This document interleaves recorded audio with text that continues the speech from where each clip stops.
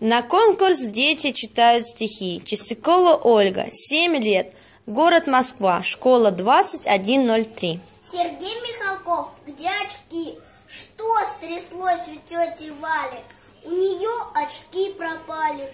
Ищет бедная старушка за подушкой, под подушкой, с головой залезала, под матрас, под одеяло, заглянула в ведра, в крынки, боты, валенки, ботинки, все верном перевернула, посидела, отдохнула, повздыхала, поворчала, и пошла искать сначала, снова шарит под подушкой, снова ищет за кадушкой.